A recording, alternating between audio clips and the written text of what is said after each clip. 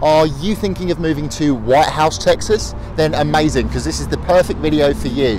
What we're to do today is we're to give you a little tour of Whitehouse we are going to go to a couple of different neighborhoods at different price points and compare the price of the homes in those different neighborhoods. The goal of this video is to give you a better idea of what Whitehouse is all about and give you a little bit more knowledge so you can make an informed decision about where you want to move to. Make sure you stick around to the end because we're going to be going to Lake Tyler and we're going to be looking at a couple of multi, multi-million dollar homes.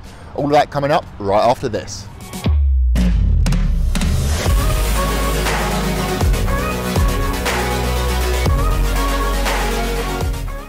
Howdy everyone and welcome back to the channel. For those new here, my name is Ronnie Withers and if you want to know what it's like to live, eat, work, sleep and play in Tyler, Texas and the surrounding areas, just like Whitehouse, go ahead and smash that subscribe button as hard as you can and give the notification bell a tiny little tap so you are the first to be notified on any Tyler, Texas market updates.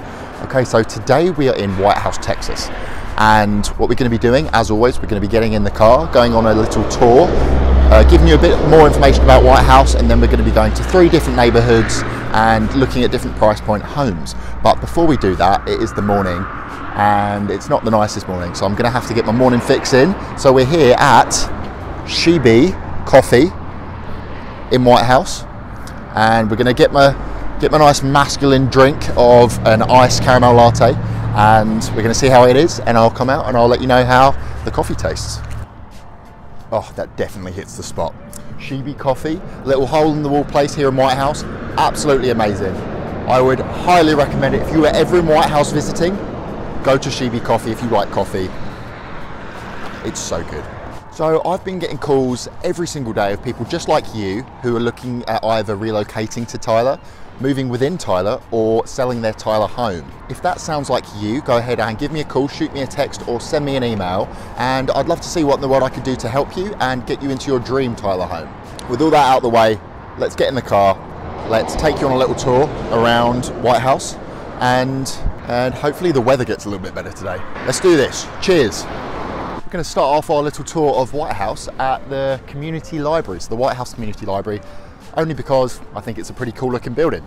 So it's right here. So we're in the kind of downtown area of Whitehouse. Now, Whitehouse sits southeast of Tyler and it is about 11 miles or 20 minutes from downtown Tyler, but it also sits around eight miles or around about 18, 17, 18 minutes from the shops and anything you could need in South Tyler. So there's actually a lot of history with Whitehouse. It was originally founded, unofficially founded, in 1848, I believe, 1848, uh, but wasn't recognised as a city until 1952. So the Whitehouse community was named in 1845, but didn't become an official town until 1953. And so that was that was a fair a fair while ago. And actually, the sign that we were just at, the Welcome to Whitehouse sign, that was built with the original rocks of, of a, a, rock house that was placed uh, in the 1950s. Uh, I think that's pretty pretty exciting. So Whitehouse is a small community of around 9,000 people and just like a lot of the other small towns around Tyler, it's very self-sufficient. So we have things like a Brookshire's, we have the library like we just saw, we have a gym. So the people of Whitehouse don't need to be going into Tyler all the time, just like everywhere else I've seen in my other videos. You've kind of got everything you need right here. Now I'm just walking up to a place called The Rec, which is a little, a little community center, recreation center. So it's got a small gym in there and it's a community center where a lot of people gather as well. So you'll be able to see that. That is right behind me, right over there. In this, this downtown area, it's not a small downtown like somewhere like Bullard, but it is really nice and I'm just walking walking around here. We've got everything in a, a, small compact area. So we have the library, the police, the fire station, city hall and everything uh, around each other. And I'm actually excited to come to this. So a really cool thing about Whitehouse is maybe not this kind of time of year, but in the summer, this is great for kids, but it has a splash park or a splash pad, which is right there, which I'll go up to.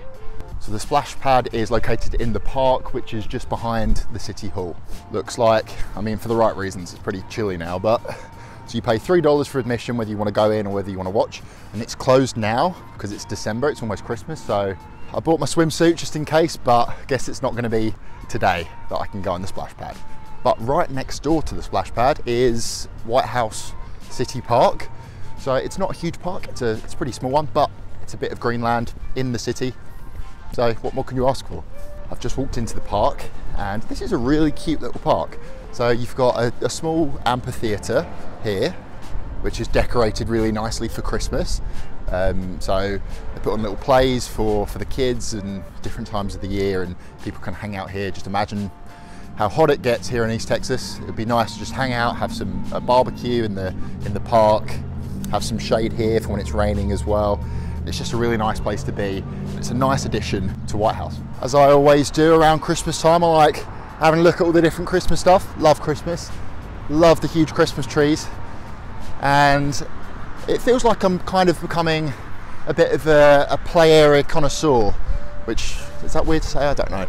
But let's have a look at the little playground here, which it's nice. It's it's pretty small. It's not the biggest one or the, the necessarily the nicest one I've seen, but it's a very solid play area. Got a slide for, for the kids, a little rock wall, a bigger slide over there, and this thing, actually, this this makes it a lot better. This is a, it looks like something you grab onto Let's try this with one hand. Am I gonna fall? I don't know if I can do this. Oh, nah, that's not happening. Right, so we have that, which I can imagine a lot of fun as a kid. Uh, we have some monkey bars as well. Nice. And we have a small little bar, which if you're an adult, you can come here, do some morning workouts, get some pull-ups in. Perfect. The main thing that people have talked to me about that they really like about Whitehouse is the people. And you'll find that in a lot of the small areas of East Texas is the people are so nice around here and the people make the community. So that's a great thing. From everyone i've spoke to people absolutely love living in whitehouse. It's a great place to raise a family. The town of whitehouse was rated last year it was rated in the top 50 safest cities in texas which for me that's really important. Like starting a family and raising a family like you need to you need to be in a safe place. So whitehouse really safe area. Also the whitehouse isd so the independent school district is a really really solid school district as well. It's rated a on niche.com and can't really get too much better. And also it's the home of nfl kansas city chiefs quarterback patrick mahomes. So Let's actually go to the high school now and see if we can see the stadium where he used to play. Um, and then we can move on to our neighborhood tours. On a bit of a side tangent, one thing that I absolutely love about Whitehouse and small towns in general in Texas is the amount of family owned small businesses around here. So in Whitehouse, we have things like Nick's Roses, uh, which has some of the nicest roses, and Tyler's known for its roses, but Nick's is where it's at. And then we've got three real authentic Texas barbecue spots here in Whitehouse as well, which I love barbecue, it's amazing. Um, so they're definitely to, to try out as well, but that's just a little thing that I love about this area. Okay, so I was speaking earlier about the Whitehouse ISD and how highly rated it is. And I also briefly mentioned about this being the home of Patrick Mahomes Jr., who now plays for the Kansas City Chiefs. And I'm actually here now at his high school football field. So this is the home of the Whitehouse Wildcats. So this is as close as I can get, but this is the football field. This is where Patrick Mahomes Jr. played and where he got his start in football. It's really exciting to me. There's a, a track around here as well. This is right by the junior high, I believe. And Patrick Mahomes went to the high school. Coming from England, this is pretty crazy to me. This is the size of our professional football team stadiums, not a high school team. Our high school team is a muddy field with about 10 people watching you playing football or soccer. So this is pretty ridiculous to me in a good way that this is what sport is in the US. It's just so it's so exciting. Look how many people can fit here. Especially to watch someone who comes becomes as successful as Patrick Mahomes Jr. Also, I mentioned about safety earlier. Have a look at this. This is why Whitehouse is so safe. I love this. This is how it should be everywhere. Just saying. Keep that in mind. Send your schools, your kids here. that's the treatment your kids get, which is good stuff. Now let's move on to our neighborhood tour section of the video. We're going to be going to three different neighborhoods in three different price point areas. Starting off at budget, kind of starter homes, moving up to the intermediate home, and then we're going to be finishing in Lake Tyler in some multi-million dollar homes. Quick fact about the housing market here, so the average price of a home here in Whitehouse is around $387,500. So just keep that in mind when we're looking at the, the houses going forward. And that's the average in the last year of what homes have sold for here in Whitehouse. Without further ado, let's move on to our first neighborhood. The first neighborhood that we're in is the Willows neighborhood here in Whitehouse. So this is a budget starter home neighborhood. Uh, the homes were built in the early 2000s and the average price is sitting at around $200,000. And you'll find some houses at the mid to higher 100s and then they'll go into the um, low 200,000s as well. This is uh, a very, it's a nice starter neighborhood. Um, it's pretty secluded, so you're not going to have lots of cars around it. It's off of a main road. The, the homes are quite small and it's a, a very good place to start when you do you do want to buy a home. For example, this one here, this house here, it last sold for $186,000. It's 960 square foot, two bed, one and a half bath, and that's the kind of thing you'll get for your money here. Early 2000s, that one was built in 2001, um, and most of the houses here are brick, and all in all, a really great little starter community. And one thing, you know I love sidewalks, and there's sidewalks, so that's a big positive for this neighborhood. I'm walking around, all the Christmas lights are up, it's looking, it's looking nice and pretty, all ready for Christmas.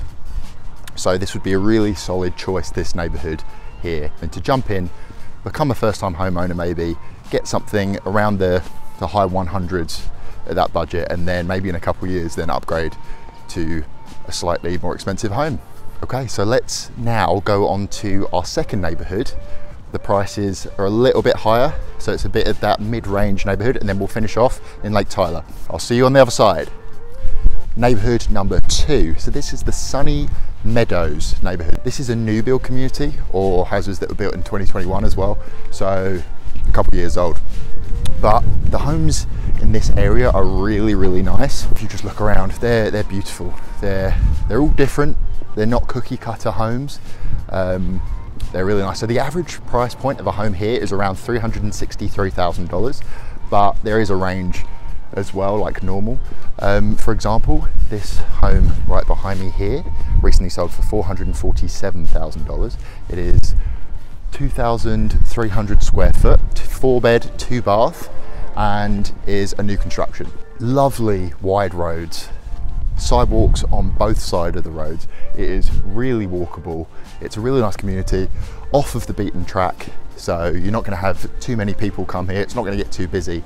Um, it's just a really nice place to live. A really nice place for families. Uh, the homes are quite big. So a couple of the homes in this neighborhood come with acreage as well. Um, so for example, this home here recently sold for $383,000. Four bed, two bath, 2,000 square foot, and it comes with two acres. So not a bad price to pay for a couple acres in a, like a suburban neighborhood. I'm really impressed with this neighborhood. I just spoke to one of the residents who, who pulled up here and she said there's a lot of new builds coming along. There's actually a neighborhood next to this and a lot of people are wanting to move here and it's really popular and I can see why. It's just a really nice place to live. Um, if you want to raise your family here, it's the, the, the roads are safe, the neighbours seem really nice, so it's just a class neighbourhood. Okay, now we're just gonna get back in the car and we're gonna head over to Lake Tyler. I'm gonna show you around there a little bit and then we can see if we can see some uh, multi-million dollar homes as well. They're, I'm just gonna warn you, they're not gonna be the easiest to see. They're not gonna be as open as, as the homes here because they're all, they're all gated. Um, but we're gonna see as much as we can and we'll go from there and have a little look at the lake and maybe go for a little swim. I know it's like 40 degrees, but we'll see. Okay, so the third and final neighborhood, what everyone has been waiting for. So this community is the Lake Tyler community. An average house here sells for around $2 million. Um, these houses behind me are a lot more than that. But the, the kind of house you'll get here is you won't really get much of a yard. compared to a normal house you will, but it's not a huge yard, but you're backing right onto Lake Tyler, so that's why it's so expensive here. Now, this house right here that we're gonna have a look at, just real quick through the gate, is for sale for around $5.5 million. And it is around 11,000 square foot, six bed, five bath, three half baths, and has a swimming pool and completely backs onto Lake Tyler. So that is what you get for that, that steep, hefty price tag. There it is. Has a swimming pool, has anything you could ever need right on Lake Tyler. Can't see too much of it because it's gated, which I don't blame them. I would as well for a house that costs that, that much. Just a great house. We'll go and look at one more in the, the million or two million dollar range and then we'll, we'll show you the lake and then we'll head, we'll head on from there. This is another area of the Lake Tyler community. You can kind of, you can see Lake Tyler backing on there. Um, and there's lots of houses all around this area. Um, the ones on this side are backing onto the lake. Actually, they're, they're both backing onto the lake because Tyler, Lake Tyler kind of goes around. So another house, this one here, last sold for 1.97 million dollars, so close to that two point um, and then it's five bed, four bath, three half baths, around 5,800 square foot. So yeah, so that's what you get for around the average mark of the, the two million-ish dollars. But the houses around here are just so beautiful. They're so nice. Um, and there's just, there's different ways you can get, get to the lake and you just live right on the lake and a lot of people have boats and I don't blame them. So you're just so close. There's a, a boat dock right there, a ramp to get into the lake, and you're just within steps. So that's what you're paying for that high price tag, and you're getting a really nice house as well. So let's just pull up on Lake Tyler now and have a little look around, and you can actually see what the lake looks like. It's not going to be the prettiest in, in December, it'll still look really nice, but if we're here in the summer, I'll do a video when we come back in the summertime um, and see how, how many people are on Lake Tyler. But let's go there right now. To finish up the video, I am here at Lake Tyler. I'm actually at the Marina Resort and this is one of the entrances to the lake and we've got the boat dock right here. In the summer, this is a lot, lot busier. It's only because it's Christmas time and it's cold and and quite grey that, that no one's here. This is the place where people come to enjoy the lake. Um, there are different entrances and different places for people to go swimming, people go boating, wakeboarding, anything you like. Um, but this is one of them. So this is an absolute great place. And then once you've had a long day at the lake, you can have some food at the Lakeside Grill, which is, which is right here as well. If you've made it to the end of the video, thank you so, so much for watching. Like I said at the beginning, my name is Ronnie Withers. And if you want to move to Tyler, relocate, or sell your Tyler home, go ahead and give me a call, shoot me a text, or send me an email. And I'd love to see what I can do to help you. If you're from Whitehouse, go ahead and leave a comment in the comment box below. What do you want me to go and see next? What have I missed? What could uh, I go see? What do you think is a good thing to do in Whitehouse? If you're new, leave a comment. Let me know what in the Tyler area you want me to see. And I'll add it to the list and I'll make that happen. Until next time, cheerio.